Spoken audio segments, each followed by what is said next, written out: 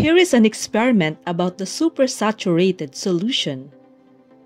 More sugar is added to water.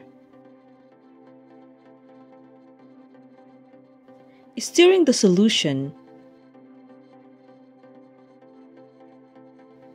Not all sugar or solute dissolve in water or solvent.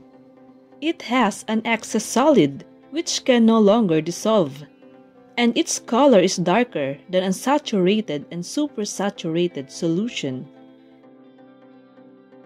So, supersaturated solution is defined as a solution that contains more solute than the maximum amount the solvent can dissolve at a given temperature.